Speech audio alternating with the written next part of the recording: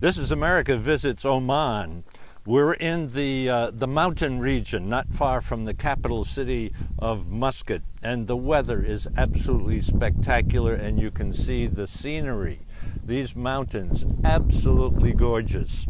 Oman, if you don't know it, is in the Persian Gulf and in the vicinity of the United Arab Emirates, Saudi Arabia, and Yemen.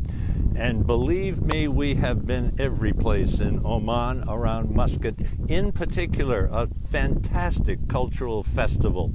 And the warmth and hospitality of the Omani people cannot be denied. It's a peaceful country, very, very friendly, and unique, and they believe in talking, not fighting. This is America Visits Oman. This is America is brought to you by the National Education Association, the nation's largest advocate for children and public education. The Republic of Kazakhstan in the heart of Eurasia, a rich history, a culture of hospitality, and a future of development and growth the U.S. China Education Trust, and the F.Y. Chang Foundation. The League of Arab States, representing 350 million people in 22 member countries. The Rotondaro Family Trust.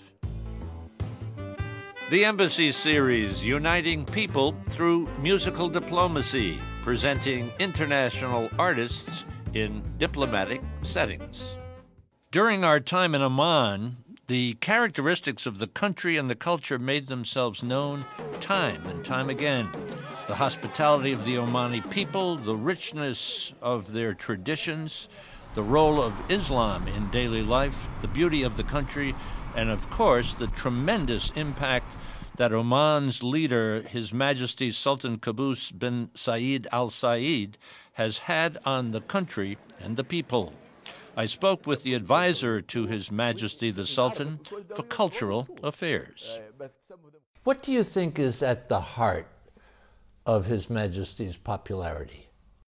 Everyone I talk with treats him with such reverence, such respect, uh, such love, I would say.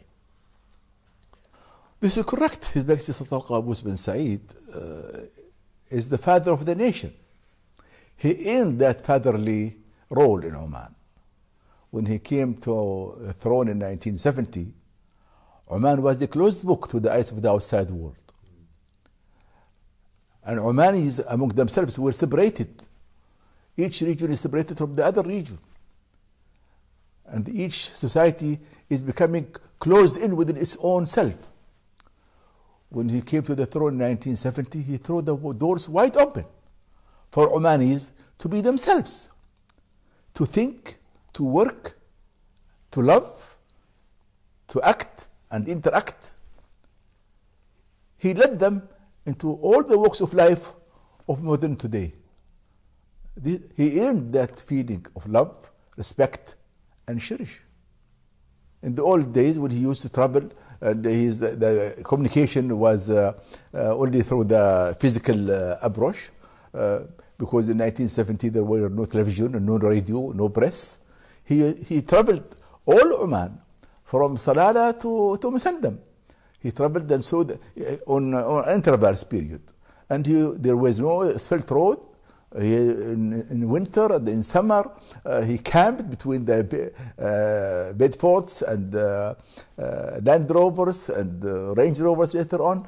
he camped and he shared with his ministers to understand, feel, and live the hardships the Omanis lived.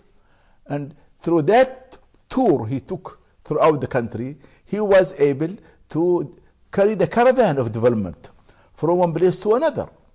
You talk about the royal tour. Yeah. When it goes back into the 70s? Yes. Now there just was another. Do you call it the royal tour? Yes. It is somebody call it a royal tour. We, in Arabic, we call it the royal, royal tour. Uh, but some of them call it the uh, Oman Open Parliament uh, tour. يعني. because so His Majesty meets with the, with the dignitaries of his of the society, and he sits with them, and he the, the, the royal camp is surrounded by many uh, people who follow him from one place to another, the, from the Omanis, men and women. Uh, if you like, it's a moving, uh, uh, it's a, it drives the economy also. Wherever he is there with his entourage, then a lot of uh, uh, buying and selling takes place around that royal, royal camp. Yani. sometimes you have people getting married there. Yani. so, how many people go on the tour? It depends from one place to another. Yani and where he where he camps, people come to the camp. So that so that so so His Majesty goes out with his cabinet. Not all of them. Some. A few numbers of the cabinet. Yes. And they go to a particular location. Yes. And they where do they live? In tents. They set up tents. Tents, yes. tents. You have in the tents you have what you need. You discover what you need when you have tent. So this is the, this is the ruler of the country is out in the tent. Yes. And he meets with his people. He meets with his people on a certain day in that in that uh, uh, encampment in that place. One day is uh, allocated for that, so people are invited to come, and he sits with them like that photograph you see there. Uh-huh. They come, he talks to them. Then each one of them they come in front of him and they talk to him, and it, what he have, what they have, what they have to either query or demand or whatever it is he listened to them, and if there is a question about uh, one ministry and he did not have the, he, he asked the minister himself to come and answer for, for this question yani, at that time, on the spot. Does he have big challenges? Well, the challenges today, like, uh, I think it's an international and universal challenge to provide uh, new opportunities and jobs for uh, young uh, people. And uh, we are managing, it, I feel we are managing it managing it in a very proper manner and in a very uh, practical uh, way. And the Omanis, the Omani youth is responding positively to that. They said the Sultan has put the ball now in our in our court now. We have to prove that we are able to benefit from it. Mm. And that's, that pleased him very well. He heard it on television, actually. And that pleased His Majesty very well that the people understood uh, uh, the youth understood what is required from them uh, at this at this juncture to be able uh, to show their to play their role in building their country. Do you think the people in Oman are happy people? Well, if I will quote, uh, there was a, uh, a censor or what you call it, uh, poll was being conducted, and Oman was one of the first Arab countries in happiness number one in happiness in the Arab world. And yet we look at the Arab world and we see a lot of trouble, a lot of chaos. Huh? I think we, the Arab world is passing through a lot of evolution, discovering themselves. Uh, after a certain time of uh, history, half century, uh, after the what you call it, the independence era, in Oman we have not, we never been colonized, so we have been always independent. We have been occupied by the Portuguese at one time, and the Omanis kicked them out. But after that, we, be, we retained our uh, independence. Countries who didn't have, were colonized and uh, became independent. The, their new governments have uh, imitated what the colonized force on the land was treating the people, not the source of the authority in the colonial uh, capitals. Therefore, there was uh, an imported ideas uh, in the Arab world, either from the west or from the east. Either the plural system with a lot of uh, corrupted feelings inside it, or that one tight jacket uh, comprehensive system, one party's rule. And both were proved were not suitable for the society. When the Arab Spring was evolving, how did the Sultan handle it here? Well, we have our spring early. We had our spring in 1970. His Majesty Sultan Qaboos led the Omani spring in 1970 uh, to where what we are now, where we are now. And this is what we are uh, benefiting from. He led it not alone, with the people, for the people, by the people. And from there, and he conducted his rule through a direct allegiance from all chiefs and individuals of uh, in Omani societies and villages and towns. He literally and physically drove his car to see them all and to meet them all and to have their loyalty and allegiance, align, I mean, allegiance to his, to his rule uh, uh, according to the Sharia law. Uh, he has been uh, nominated to lead them, and he's doing that. What's the fun of your work? My fun of work is to see that uh, I'm still uh, being able to serve my country and my sultan, and to be able to be part of the making of things could happen, and to see them through.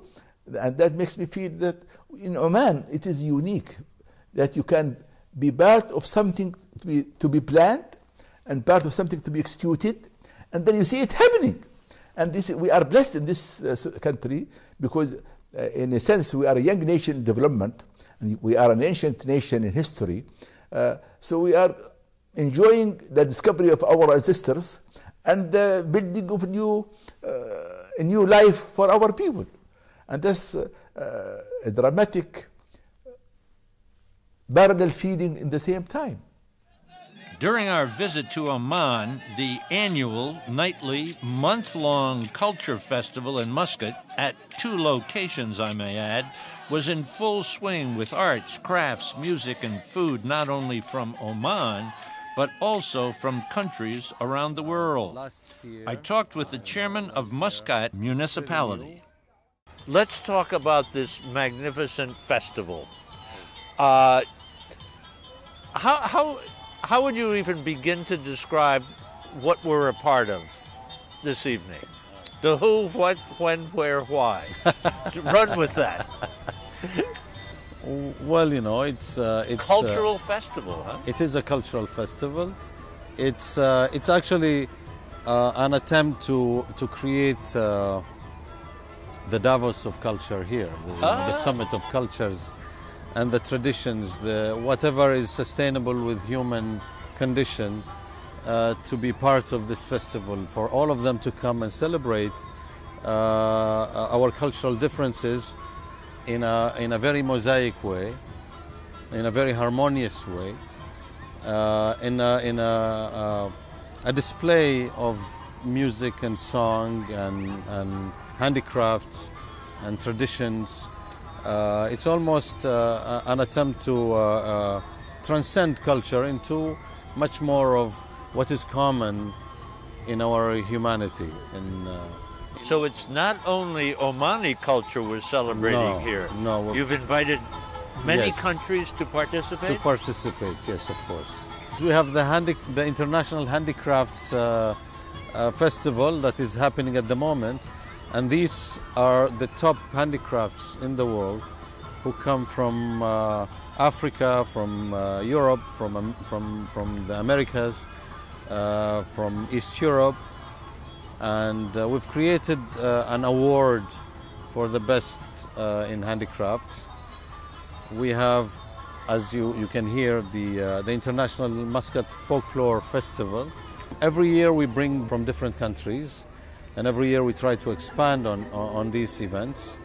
We have, uh, uh, we have also the sports events that also have uh, different nations coming all together here, like the Tour of Oman, which has The uh, bicycle tour? the bicycle tour that you know uh, uh, ride across the country with uh, cyclists from all over the world and um, uh, so we have so many so many things happening i cannot keep count So I gather that not only what the site here, but there's another site that's similar to this yes in another part of the yes, city. yes yes there are two So two two.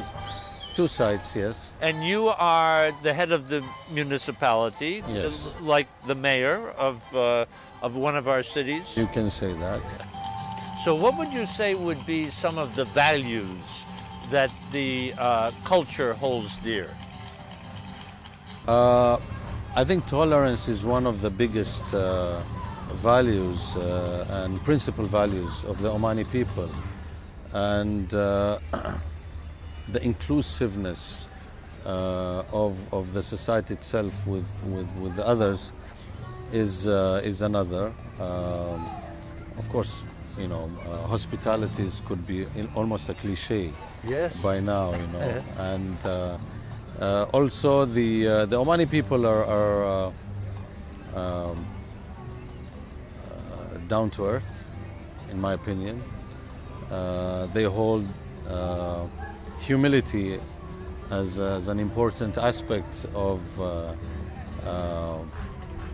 uh, a human value to them. Uh, the uh, of course, uh, you know, with that comes the rest of what is well known of of desert people. You know, the solid values of family oriented and protecting uh, uh, the weak and the and the and the uh, uh, visitors and uh, and nature and uh, so the, these are basically most of the the most important values that uh, you could find in, in the Omani society. This is a beautiful country, isn't it? You have uh, the sea, the desert, the cities. I mean, it's, It's uh, it's the mountains. it's it's a blessed country with uh, with uh, uh, a very interesting uh, composition of terrains. Uh, you know, ranging from uh, amazing, and that, this is not biased by any means, uh, but it's uh, it's it's blessed by long coasts of all sorts of uh, uh, terrains and uh, topography and uh, an amazing geo- geology uh, in the country, and it com- uh, it combines uh, sweeping mountains of all colors uh, and sand dunes, deserts. Uh, a lot of pieces of it, you might say, you, you would experience in the in the southwest uh, of the United States. yes. At the Culture Festival, we heard many different kinds of Omani music, which is so different from the Western music that we know. Examples of this music were presented on many, many stages at the festival, and our good friend and coordinator from the Ministry of Information, Shakir Al Raimi, told me more about Arab music. It's kind of rituals speaking about Prophet Muhammad, about his story, about his message, about his uh, good for humanity. The message is conveyed, and about the good deeds. No, it happens all, all the time. It's always in any part of Oman. Yeah. And even in the other uh, Islamic countries, yeah, there is something similar to that. Yeah. Would it happen at a mosque? Not, I would say, in a mosque, but in public halls or uh, where people get together and sit. Because the mosque is for prayers. This is not a prayers. It's like telling a story, some kind of story. He's talking about Muhammad, about his uh, birth, and how he grew up, and about his miracles, and the message. This is a, goes around that topic. Yeah. It can go 20 minutes, half an hour, an hour. It depends on the how long the poem is or how long the uh, story is telling. telling. And how do all of these people know what to do? Well, it's part of the her- heritage. You know, we've been listening to this since when we when we were young, when children, and anyone can part, take part in this. It's not necessary. Yeah, there are uh, some bands or group of people say it, but anyone can take part, can go and join in, and you don't. It's not difficult, you know. You would know what to do?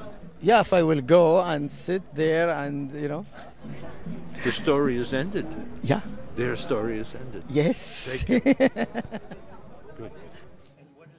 That night, Shakir explained the meaning of a traditional dance performance. Well, it's a dance of manhood and uh, courage.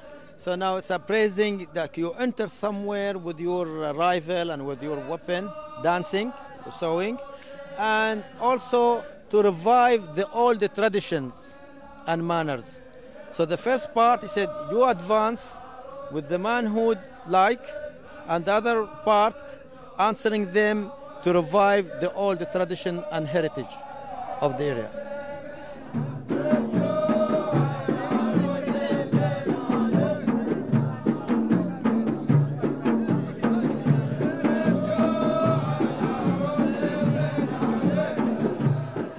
Turnabout is fair play, and I was invited to be a guest on the hour and a half long television show produced nightly and live at the festival. We obtained some footage from the broadcast.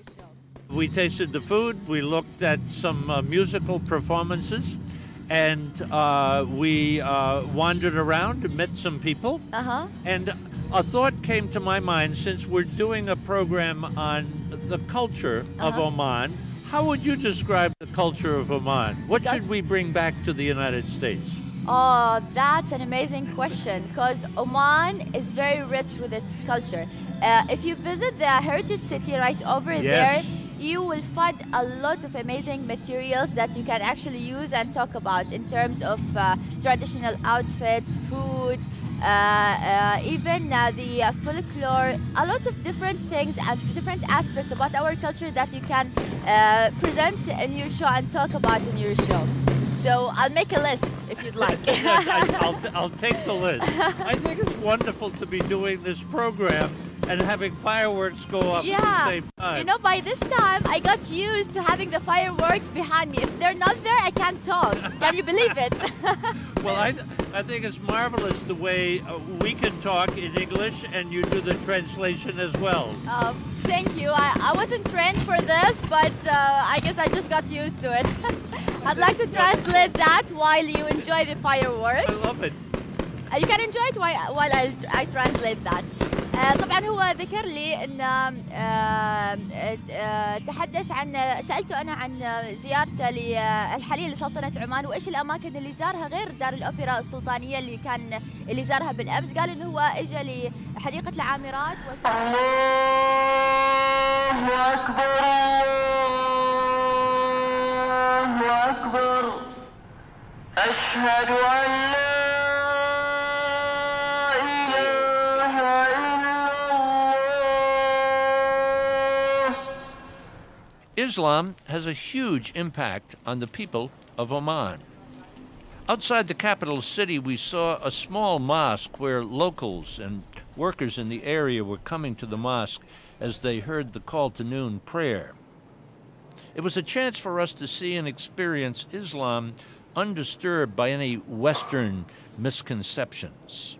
Our cameraman, Saeed Al Salman, suggested we race back to Muscat to the Sultan Qaboos Grand Mosque and experience the end of noon prayers there and show the contrast between the two mosques.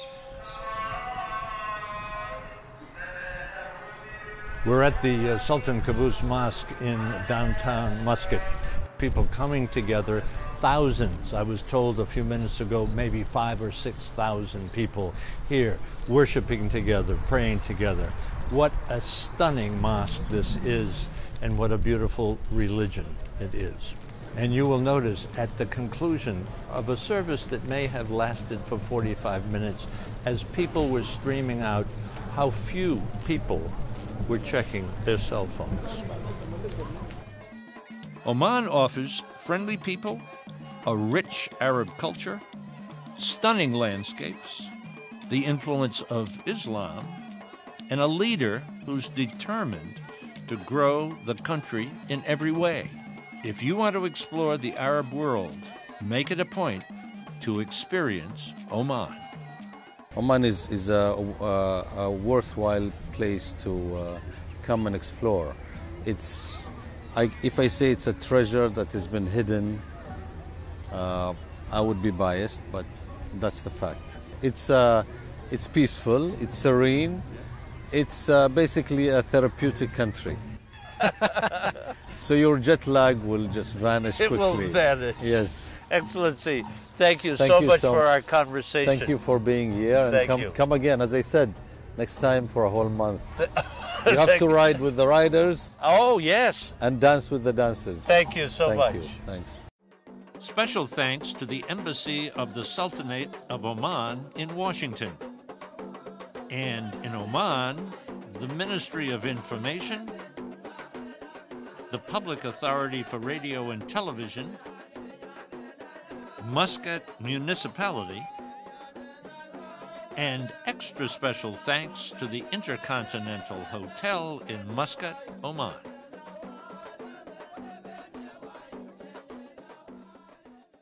For information about my new book, The Chance of a Lifetime, and online video for all This Is America programs, visit our website, thisisamerica.net. And now you can follow us on Facebook and Twitter. This is America is brought to you by the National Education Association, the nation's largest advocate for children and public education. The Republic of Kazakhstan in the heart of Eurasia, a rich history, a culture of hospitality, and a future of development and growth the U.S. China Education Trust, and the F.Y. Chang Foundation.